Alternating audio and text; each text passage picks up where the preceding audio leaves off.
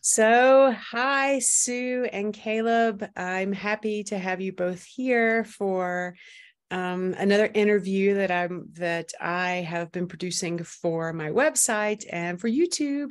Um, related to books that are kind of helped along the process that have actually come into completion, come to fruition. And I just got my copy of Breathe in Water yesterday and opened them this morning. And I'm absolutely delighted. I'm sure both of you are incredibly proud of this. And you can see a little scale too. It's just a, a sweet little book with um which I hope we'll kind of explore a little bit of some of the design elements that are in here as well with the um, vellum papers and the blue thread that's used to sew the book. Absolutely gorgeous. So we're going to kind of start the interview a little bit, interview conversation. And I wanted to Sue to start us off talking a little bit about the project and uh, its inception. And then maybe as we kind of go along, maybe your journey into wanting to produce a book of this work. Okay. Hi, my name is Sue Michlovitz, and I'm honored to be here and have worked with both of you. The three of us are Team Breathe as, as we collaborated to bring this book to fruition and publication. I am a photographer. I also work in artist books and mixed media, but I'm relatively new to that world. I spent 45 years in an entirely different career and then entered the world of photography much more seriously than just taking pictures when I was hiking around my kayak. Um, I've been drawn to um, photographing water and abstraction for a number of years. And I think that I believe um, I do that because I like being outside in nature. And water to me um, really is, is vital and is essential for life, as is breathing. So when I started to take images that involve more abstraction and more water and being able to see more figures within water, I put together the concept of a body of work that I titled Breathe in Water. Uh, then I had been studying book art since about um, 2018. I wanted my uh, work to go into a form that people could hold and touch and keep with them and review and not just see in a gallery wall or on one wall in their house. And putting together books was not new to me. I spent a career um, editing and authoring textbooks, but it's very different than putting together an artist book. So this was has been a new venture for me over the last few years. Yeah. And um, Caleb, do you want to just um, do a little brief introduction to yourself and your work too? And then we'll kind of discuss how Team Breathe uh, let Sue discuss the more of the trajectory of the book and how Team Breathe, how she ended up meeting us, and some of the other interesting people she's also worked with along the way. Yeah, sure. So it's been so much fun, like collaborating with both of you, and that's been wonderful. Um, I'm I sort of came at this through I guess I was a photographer for a while and photographed ice, so that was a natural connection to to Sue's Book of Water, since they both are from the same element. And uh, I used to be a printer, and I printed for a lot of sort of old school photographers, including Mary Ellen Mark and Robert Frank, Ralph Gibson, Lucian Claire, Donna Ferrato. And then the pandemic, sort of a lot of that, well, people were getting older, so they go to another planet or another Earth or another place. And then the pandemic kind of killed exhibits and things for museums. And so the printing was getting tough. And I've always loved books. And I've been designing one or two books a year. And during the pandemic, I transitioned to a design studio and I'm now focusing primarily mostly on books. And it's just really wonderful to be able to help the artist to find a visual grammar that can be implemented through the books and the materiality and the typography and the color and the haptic nature of papers. And and then that you know helps them to create more impact in their careers and with their work when it gets out into the world. Yeah haptic nature that's an interesting term. It's like that's one i've like recently learned uh, relating to apps. But that's interesting where you're talking about like how it actually feels the tactile a lot of the tactile qualities which was actually heavily considered in um Sue's book too, some of the tactile qualities, as well as just the visual qualities too. Sue, do you want to talk a little bit about um, your book arts experience and how that may have informed what you wanted with this book, and then and then maybe address a little bit about how you discovered Caleb and why you thought he would be great as a designer for this project. Okay, so let me talk first about my background in learning about book arts and artist books. And two, two years ago, I completed an MFA at Maine Media Workshops at Maine Media College. And during the program, I had the opportunity to take um, uh, a um, book arts class, an introductory one from one of our mentors in the program, Cig Harvey. And I really love playing with the materiality of the papers and the textures and putting colors together, trying to sew papers together, which I was terrible with to begin with. And I decided that um, because I'm a very tactile and visual person, that continuing a journey and working with books would be very helpful. So without throughout my program, I worked with other people in book arts, with Richard Wright Smith, with Charles Altschul, with um, Joyce Tenneson, and got input from them related to projects that I wanted to work on. Um, one, semester I worked with Richard and Charles and, and worked on the first version of Breathe in Water. Was a Japanese stab binding book that I put together. And as you know, if you've done a handmade book, it's, it's very tedious to do that and it's difficult to produce a lot of copies, unless that's all you do in your life and in your day.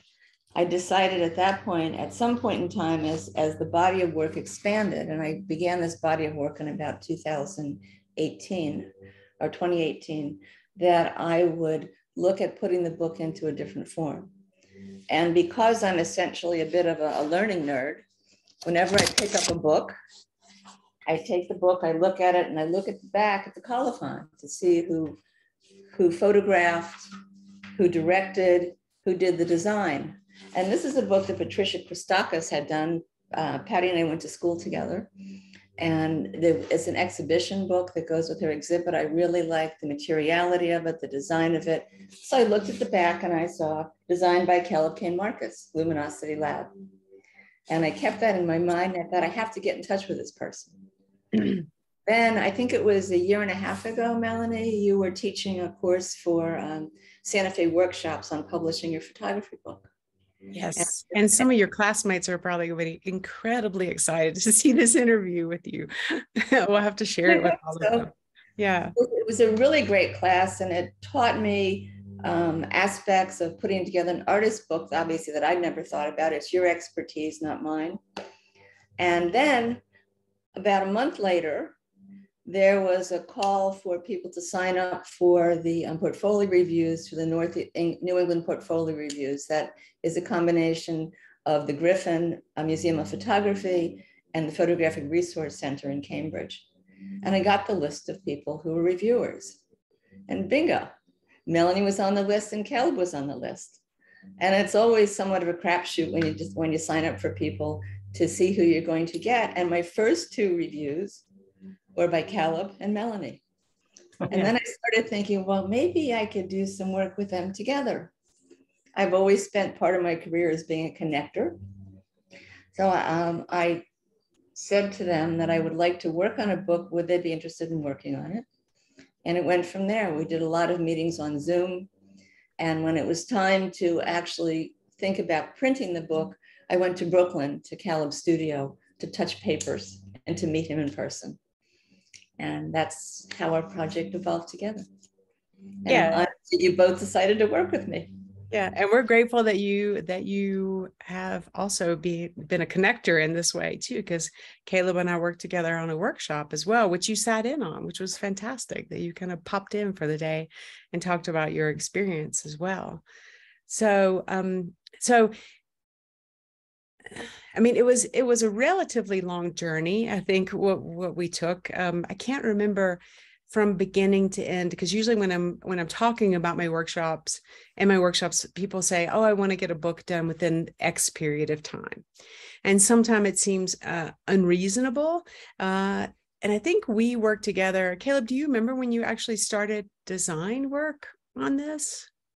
Or Sue, do you remember when design started? Sue's like, yes, I remember. um, Melanie, you and I began working together first on selecting images. I had a pile of uh, 125 four by six images that I had selected mm-hmm. from some of the work that I'd done over the years.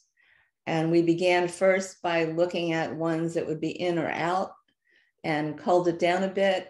I think, Caleb, when you came into working with us um, formally, we probably had about 80 images at that time.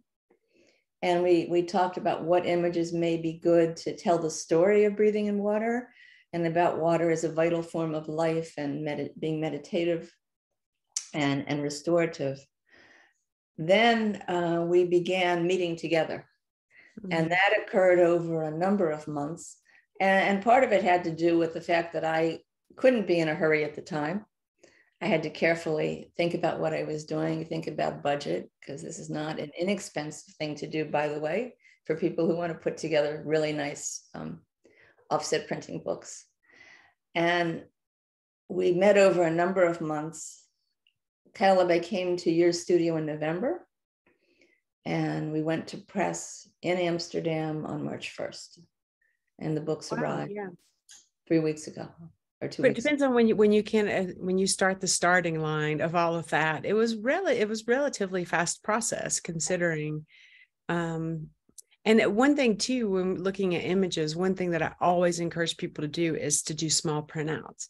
And even with yours, I lived with them for a while. Like I printed them out just on copier bond and stuck them on the wall and moved them around. And um, explored a lot of sequencing and editing and then there was some stuff that you had come you had come with some of the images too with work that you had done with um, Sal Taylor Kydd. Yes. And, and there was there's like a beautiful sequence that uh, caleb included in here of which was which was very clever a simple technique but also just incredibly beautiful of using all the verticals three verticals on one page because it almost looked like they were like shot with you know one iceberg and one little series of where you just almost turn the camera three different directions in the same space. And it's just abs it's a little incredibly beautiful sequence of images that were there. Yeah that one. I think it's just incredible. I think it's so beautiful. I love the positives and the negatives and um so so yeah but but what i always encourage people to do is to print them out put them up, live with them for a while, take things down. Because once we sent what because I did a, a quick mock-up uh, just InDesign myself and then said yes share it away with Caleb. And he probably took some of what Sal did. I think you may I don't know if you sent him images of images. So Caleb how did you start working with uh, Sue's work? Like what was your working process? Yeah I mean I think the three of us started in March so it was March, more or less mm-hmm. one year from you know at least the start of our three our threesome collaboration until uh, until it was printed, which is I think is sort of an, a normal amount of time, like a good amount of time. Because if things get too long, then sort of the the spark of the idea can get lost sometimes. Mm-hmm. And if they're too short, there's sort of not enough time to fully germinate and sort of see where the idea could go. So I feel like, you know, six months to a year is like a reasonable amount of time that for for for a book. And yeah, it did feel fast. Like we have the book all of a sudden, and I feel like we just started yesterday. yeah. Yes, that's true. Um, so it's pretty amazing. Uh, yeah, I mean, I think every process is different, but for us, because we had started with these different sequences, I think we even began where we were all sequencing, if I remember correctly, sort of in parallel, which is something that I've never done before with three people. So we had these three different sequences, and then we would come together and sort of figure out how they could be brought together and what the strengths were. And then we would sort of go back to the board and have another, you know, few sets of sequences and bring those back and it got honed in you know to a tighter and tighter edit and a stronger and stronger sequence and of course this the sequence when it's laid out all in the same size and without the format of the page is very different because once you introduce the page, all of a sudden you have proportions and what are the relationships between these two images because they're sitting on the same surface. And then there's there's the book and then there's the outside world. And so that changes the, the sequence. So we had to edit, you know, things along that way because we, you know, when we're laying it out on our boards or on our tables, it's not so easy to get three verticals that are going to be proportionate to that page size. Um, but once you start laying it out in InDesign, then of course all of the proportions and the relationships and and the white space, you know, how do we activate the white space and make sure that it has energy uh, and it's not just this, you know, empty space. I mean, I, I I sort of believe there is no empty space, mm-hmm. right? White is a color too, and it's reflecting all colors of light. So like it's very important to have all of those elements. And mm-hmm. uh, it came together like very naturally. And like I think the best collaborations, there's no there isn't friction, right?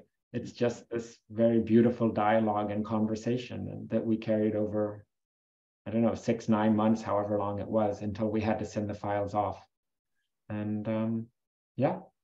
Well, so um, I want to I want to bring in one point that I think that um, is really important for artists who are working on books. When you choose to work with a consultant and a designer, uh, for me, it was very difficult to do that all by myself. I, I don't have a, a, curation background. I, I can make nice images. I can start to tell a story. But one example of, of using a, a designer is the way some of the images were paired together on pages. And if I can hold up this example, if you can see that. These two images are two different sizes with some appropriate white space and the lines across these two images taking at two different times in two different locations in East Greenland uh, blend together very well.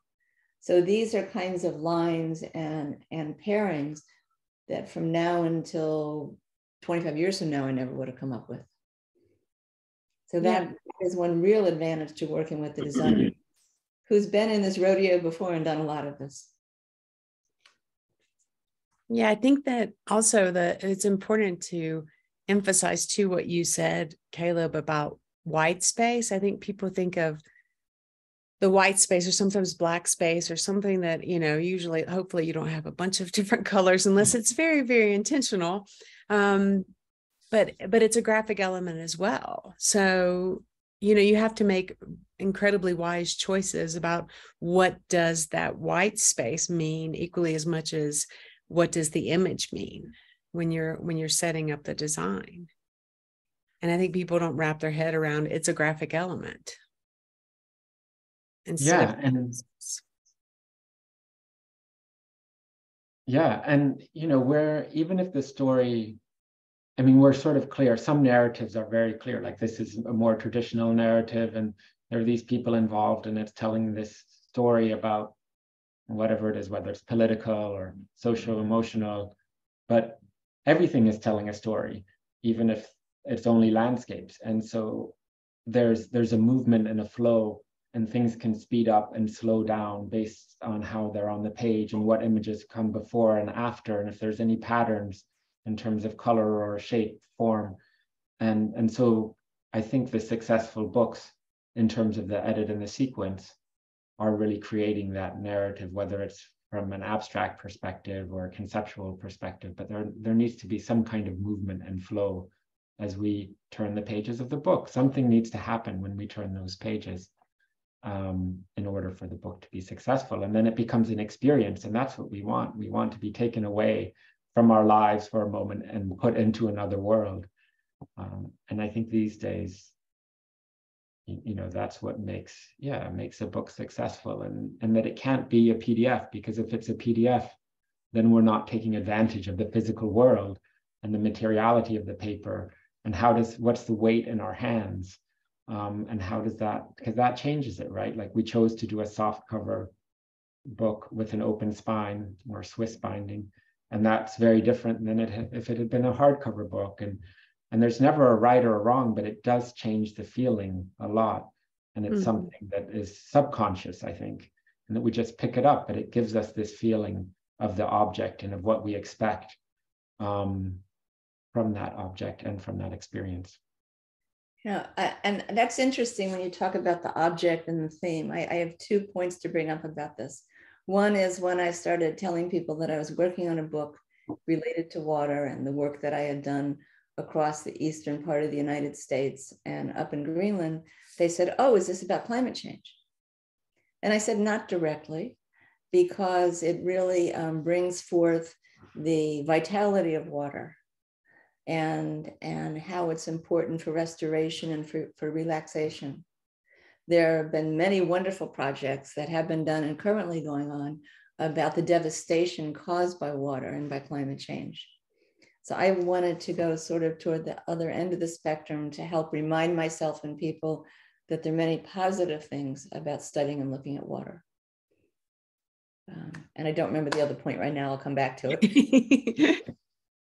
well, um, it was interesting too because I put together a PDF too, and I saw uh, almost this hero's journey of of the the female figure that's um, that is uh, represented many times throughout the book. So that's one thing we could talk about as well. When you asked me to do the essay, I was like, well, this is my opportunity to kind of discuss uh, her hero's journey and what she thinks of and how what water symbolically, metaphorically, and literally means to her, to the figure that's in there, which I saw somewhat as an individual figure, but also as a surrogate for you.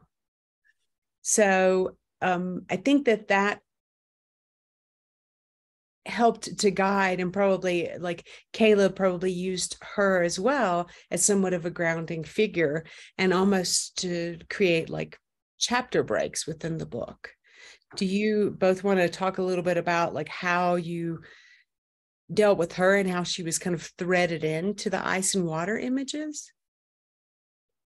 I can go first if that's uh, this is um, when the sequencing of the book was done um, we began the book with a photograph as an end page and as the leading page. And then before the title page, introduced the first figure of a woman. And there are four figures of women throughout the book. They are all done in full bleed. They're the only images of the 45 that are done in full bleed. And they are women who really aren't identifiable you can most likely tell it's a female figure in the water. But we purposely, to go along with the abstraction of the book, kept the figure a little bit more amorphous. And, and I chose the images that I had taken of women that are a bit more amorphous. So people, more people have the opportunity to relate to the person. Um, and one of the features that I was really excited about, or still am excited about, was the um, the sequence that was done with a woman floating in water and a vellum insert that has an essay or prose that Melanie wrote called um, Water is Life with an over a vellum overlay. And then you turn the page and you see the rest of the figure. So if you don't mind, I'd just like to read the very last portion of what you wrote, Melanie. Yes, uh, of course. Yes. I read it in, in one of the class in the meditation group that I'm with, and one of the women got a little teary eyed, which is really something. Um, water is the fulcrum between vitality and mortality. She knows she can't live without water and she can't live within water. If only she believed she could breathe in water. And it's just beautiful. Apropos. oh, yes. yeah. Well, I know. And that's like, uh, like I'm I'm very proud to even have my name on in the book, but also that little section. I think Caleb did an incredible job um, incorporating a lot of the design elements. Uh, Caleb, so you do you want to address her a little bit, and then I want to get a little into the nitty gritty of making decisions about a book and how the two of you went about went about making some of those actual like just physicality decisions. Yeah. So, I mean, I think that as humans, we often are really drawn to people and to faces. And it starts from the time that we're babies. Supposedly, we can recognize our mother's or father's face from a stranger at a very, very infantile age. And I think that sort of interest in, and maybe the projection when we see an image with people, we can project a storyline onto it or an emotional content. And so for that reason, with photographs, it can be easier for people to relate to portraits or, or images that have people in them. And so I think that here it's a really nice foil between the people and the landscapes and the having the, the woman the four four times um, it does bring a lot of vitality and a lot of movement and it it changes the pace as well. And it happens just enough but fairly rarely that the books you can almost forget about them if you've only looked at the book once even though it's changed your experience but you still primarily remember the landscapes. But if it was only the landscapes it would be much flatter and and the story wouldn't be there as much so i think that the two together really you know really create the experience that exists. And if they were taken away even though it's only four images which is roughly 10% right of the images i mean four out of 40 44 is that what we said we had? 45, 45 including the 45 so 45 images. I mean if we just remove four we would have 41 images. It doesn't seem like that would change the book much and yet it would be drastically different um, not for the better in my belief. Uh, yeah. So it, it, it i think it functions very well to have the two the two together and sort of spread out. Um, yeah. So something also that it has always um, appealed to me in some of the abstractions that I make or photograph is that I like to look for elements of people or animals within my imagery. And a couple of those are included in the book. And this is one example of an image that you may or not see clearly here um, on the Zoom screen. Yeah, it's interesting looking at it maybe in reverse. It does look a little different. It's, it's, it's, a, it's a face within the image. And I didn't draw that in there. There was not a person embedded in the ice and water. It's just something that appeared when I started looking at the different imagery. Yeah, I think that some of my selection and what I include in a show or what I include include in this book had to do with being able to look at some um, recognition of people within the abstracted images of ice and water. Yeah, we tend we tend to anthropomorphize. I think lots of um, when we do our still lives, sometimes a fire hydrant can be somewhat like you know look like a, a solitary human figure standing standing there. So there's many. I think the still lives can somewhat be portraits too and representational. So that makes sense that that was somewhat attractive. And then whether people see those elements or not, like that one now, I'm sure everyone will go to that image and somewhat look for it. But um, but yeah, that one that actually is one of my favorites. I think too. There's a few of my favorites that it was interesting in the discussion too because we we would argue for ones that we really liked and wanted to include and i think for the most part we all got our favorites included in there. But you know the expression of um, kill your darlings does come up too when you're considering uh, photo book design and sequencing and editing that sometimes you have to decide to include uh, things you may not want to include normally for context, or you may have to take some things out because they don't fit into the narrative, even though they're some of your favorite images. But I think for the most part in this one, which I, I do believe may be rare, you got we got all of our favorites included in the book too. Oh. And there's and there's something too. You talk about the idea about breathe and water. There's something about the weight of this object too that that uh, relates to the title and the theme. So I want to talk a little bit about physicality because you made some decisions. We talked about the vellum sheets. Uh, that you talked about the end papers, which are beautiful, and you can see the spine with the thread there. And the other element with the vellum is the title page too where you have this kind of shimmery paper, which unfortunately you can't read that well. You can kind of see it a little bit, but this vellum title page. So we kind of went through a lot of, um, which I think is just beautiful, Caleb. And then Caleb decided on this font. Do both of you want to kind of discuss a little bit about some of the elements in this book and how you made these decisions, uh, especially as it relates to a learning experience for anyone else. Sure. I, I think that um, something that I had, uh, I put my foot in the sand in the beginning. I really wanted a hardcover book. I, I'm used to hardcover books and textbooks. I was upset when my textbook then went into a softcover in the fifth edition. And I thought, well, I don't want to do that. I don't want a softcover. And I also wanted a book that was small that people could hold and it would be intimate and they'd want to touch the pages. And I didn't want the images to go into the gutter. I wanted to be able to see the full image. So in order to do that, one of the designs is, um, is um, the Swiss binding that was used, where the pages lie flat. In order to do that, with a small number of pages in this book, with 78 pages and 45 images, it, there had to be a soft cover. It would have been too bulky if it had been designed with a hardcover. I also wanted papers that people wanted to touch. And when people look at my book now, they some of them apologize. They say, "Oh, my hands are clean, but I want to touch the pages." And mm-hmm. that's what I wanted to do, which is why I went. One of the reasons I went to Brooklyn to Caleb's studio to be able to touch the papers. And I want people to be able to touch and look and want to go back and look at it, the book again, to study some of the abstractions. So that was my thinking and as part of the design, without a clue how I was going to do that. Caleb? Um, yeah. So, I mean, I think for me, you know, we sort of spoke about creating experiences and how are those created.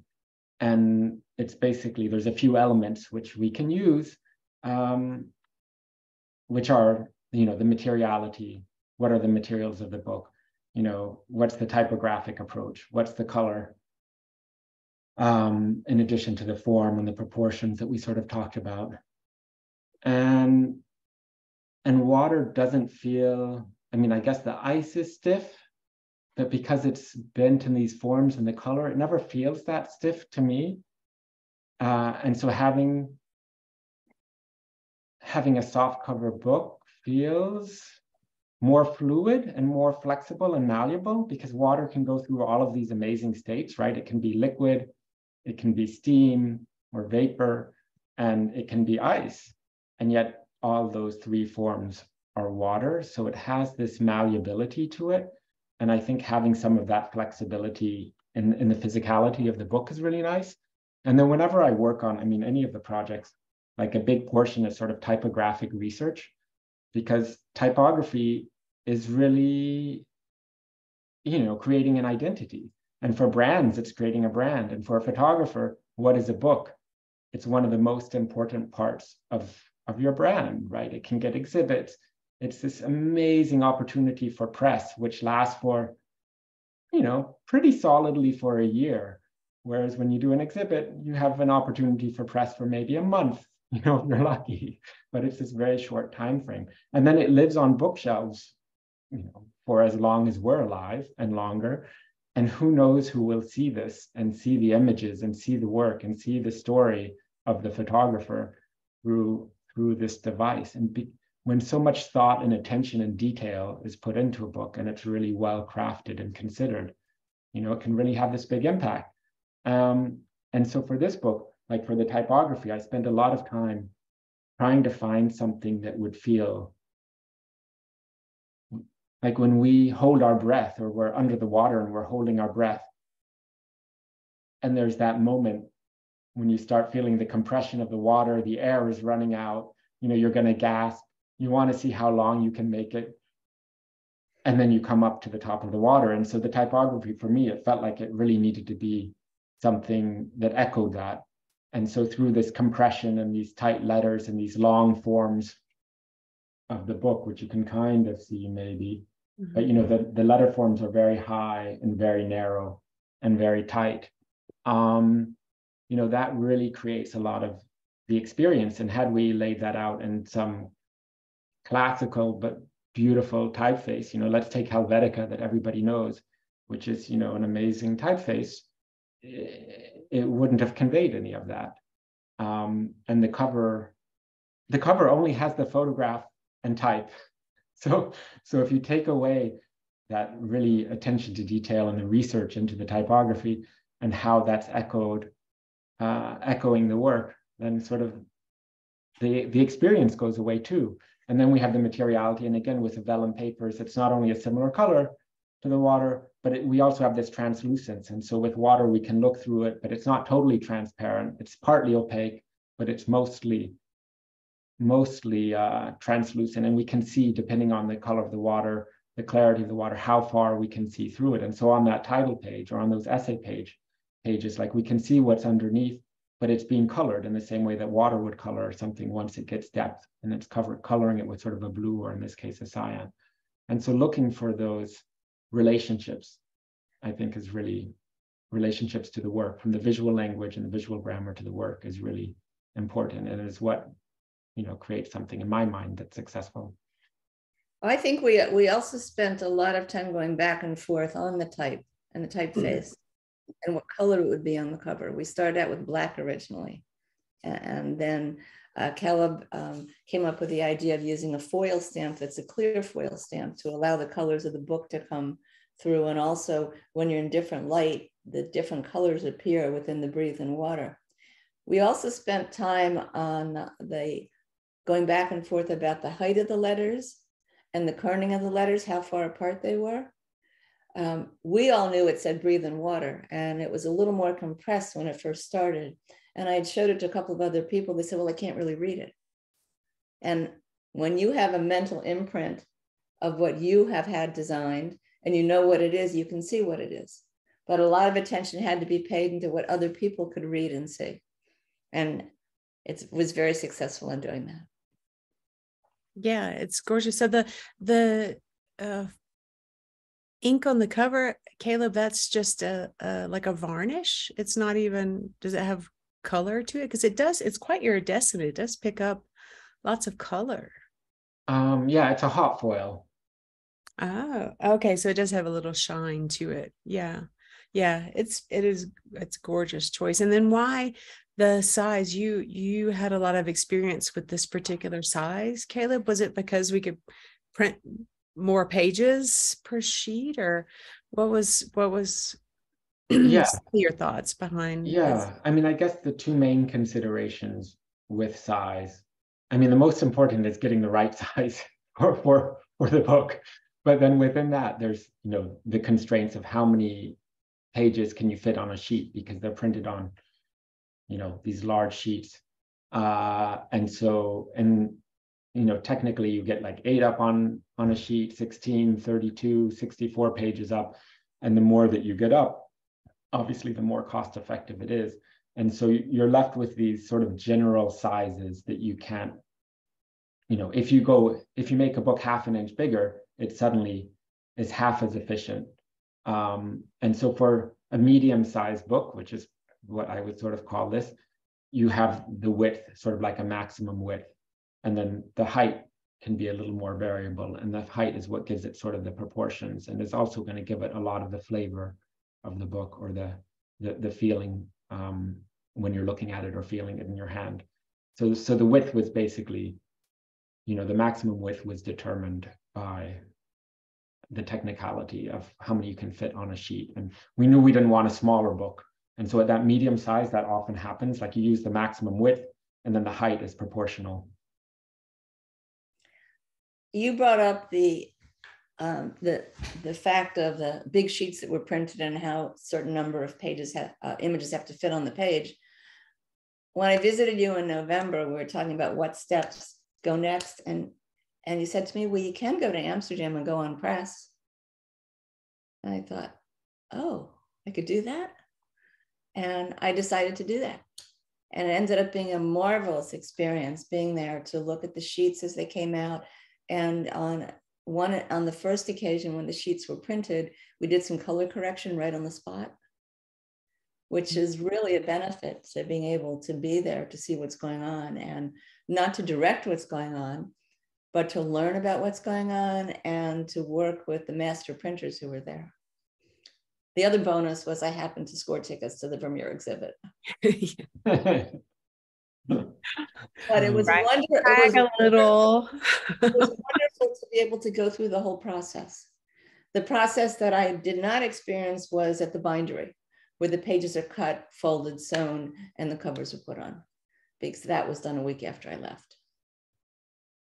Yeah, I'm glad you mentioned that, Sue. I was going to ask you to, to talk about that a little bit. And also, you are going to do a lengthier piece on that with Lenscratch, I believe. Isn't that correct? And that'll be sometime really soon. Um, I have to finish sending it in to Aline, and I believe it will appear sort of toward the third or fourth week in May. Okay. And we'll put a link to that too. I'll put a link to that for the YouTube so people could follow up and learn more about that experience too. And, And the, then, other, and the other thing about doing the book, sorry to interrupt you, oh, but I did. Um, another another important part is once you have the book, how do you get it out there? And um, you, it's like if you're selling your house, you have to put a sign up and have a realtor or, or represent yourself. You can't just expect people to knock on your door and say, "I'd really like the book." So I started working on opportunities to um, get the book in different places. On June 2nd, I'm doing a signing at a small boutique bookstore in Rockland, Maine. And then in um, What's the name? Arctic Turn. Okay. And it sort of fits with the flow of the book. It's a well curated small Mhm. bookstore. Sal Taylor Kydd has her work in that store. Uh, and so do I. I uh, so will I. And then in August, I'm doing a talk at the Rockport Library. And I'll have the book there with during the talk. Um, it's going to go into a small museum's bookstore in the fall. So they're just different opportunities that you have to ask for and try to work with. I have an I have an exhibit that opens to the Maine Jewish Museum on June 29th. It's a museum in Portland, Maine. And the book will be there as part of the exhibit with 27 images. So you just you can't just say, oh, people are going to come and buy this book. Yeah. And you also have to have it on your website too, And with a great on- page. it's your on my website and it's being modified tomorrow morning because there are all sorts of considerations. You know, how do you how do you sell the book? Right behind me are two of the two of the eight boxes or six boxes of books that were shipped from Amsterdam. And the worst nightmare that any artist has is, oh my goodness, in three years, these boxes are going to be sitting in my garage. What am I going to do with these books? Am I going to give them out as party favors? So that's a real consideration. And, and Melanie, you address that very well in the classes that you teach. Thanks. Yeah. And then just getting together, we, we're working on now kind of getting together press releases, making sure your web page is up and going, that you're keeping track of correspondence, figuring out like tangentially who you can, because a lot of people think of this normal uh, chain of uh, distribution, maybe like with bookstores and places like that. But like you are, just for instance, when you mentioned you read that last line of the essay to your yoga group your yoga group great place for something like this to be or places that deal in meditation or you know alternative therapies. Are, are there other locations where you can have your work? The jewish museum considering your, your relationship there you know there's so many places where um, you can put your book out there in the world but then you've got to do it. You've got to do the work and you've got to track the work and then um, we're gonna this uh, i wanted to try keep the interview to a little bit of a length but there's two other things that i kind of want you to discuss so i'll throw them out maybe for both of you but sue i want you to talk about a little bit about the limited editions that you're going to do and and some of the considerations for that uh, I, I would love to eventually get into budget, but that might be a little bit too much for us for this point.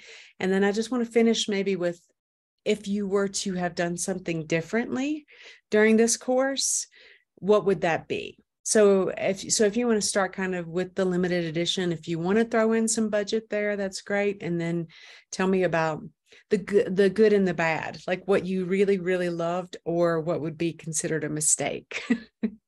So if, if we talk about budget and, and considerations, uh, I d- my goal is to be able to cover a high percentage of the cost of putting the book together. printing it, having a design consultant, um, uh, an editorial consultant. Because when you put together a book like this, you don't do it to make money. I mean, as, as I joke, my former career paid me to do uh, what I did, and I got paid well. My new career, I pay to do right now, pay to play. And, and if I have a show and I sell enough images to cover my printing and framing, I'm just ecstatic. Mm-hmm. But um, in order to get the book out there and, and to um, provide a couple of different tactile and visual opportunities, there are three versions of the book, or the way I'm selling the book. One is the book by itself. The other is the book with a limited edition print, and we're doing 50 of those. And the, the print will fit within the book. And the third is um, uh, a deluxe edition of three of eight to 10 of the books, which will be in a custom box that will come with two images under the book wrapped in a vellum, and then one image tipped into the front part of the clamshell box and a very small image on the front of the box. And that's more of a collector's item. There are people who collect artist books and, and keep them intact the images that I'm including within the book are not ones that I intend pe- to people to take out of the box and then frame. They're more as, a, as an object of the book with small prints. So did that answer that question? Yes, yeah, that and and and there's more. There'll be more details on your website too, which I hope will be like an incredibly wonderful, informative page that will make someone want to buy one of the three options of this beautiful book. So, um, and then do you want to talk about uh, maybe both of you, like lesson learned with this one, if there was such a thing, uh, or, you know, or something that you may do differently? And if it's nothing, then fantastic. but is there something that you might do differently? Pay more attention to budget, maybe, but I didn't. Mm-hmm. And unfortunately, I had some money saved because I had a job that paid me. but it, it's interesting because Caleb, I found an interview that you did uh, a number of years ago, and people asked you, you were asked questions by the interviewer, and then you answered. And somebody mm-hmm. said, Well, as a photographer, how do you be successful? And he said, To have a partner who has a lot of money. But but seriously, uh, I have I, I couldn't do a book like this twice a year because I'd have to recoup some of the finances to be able to do that. I don't mind having spent the money on the book because I feel really good about the product. Other people will get to enjoy it. And it also, um, as someone had mentioned earlier, Caleb and Melanie, it gets your name out there. Mm-hmm. Caleb mentioned that. You do an exhibit, it's here today, gone tomorrow. With a book, more people have the opportunity to have um, your work than they do from an exhibit. I don't think 200 people are going to buy one print from an exhibit. Hopefully, if a few people buy prints, that'll be great. But 200 people could buy the book mm-hmm. and, and have a piece of my work with them. Yeah. And I think books also are just engaged with in such a different way. If you go over to someone's home and it happened, you know, you see a print on the wall, maybe you comment on it, but it kind of is here and gone. But if the book is on a table or on a bookshelf and somebody happens to pull it out, like all of a sudden they've now engaged with you as an artist because it's sort of a more complete part of your thought process that they've seen than an individual print. And then they, they also now have read your name, which means that they're more likely to remember it.